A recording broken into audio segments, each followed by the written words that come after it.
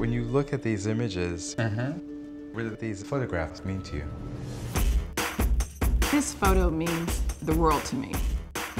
That's my great grandfather right there. These are my cousins, and I love them.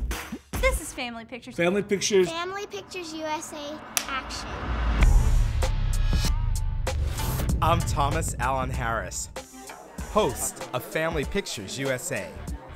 I take pictures, make films, and now I'm traveling the country looking for stories hidden in the family album.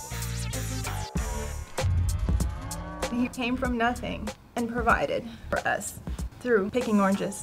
That meant the world. My dad worked at this plant for 20 years. Do you have a picture of your dad? This is his ID badge.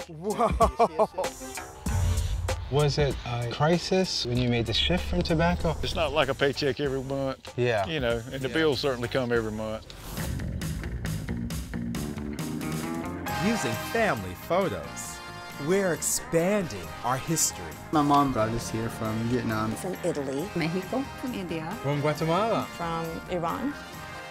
exploring the stories that connect us to people It's maintaining your life and your culture.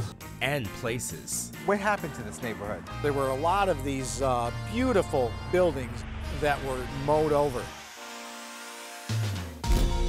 Family Pictures allows us to come together And we're one family. and we're one family. Join us on this journey, and you'll never see America the same way again.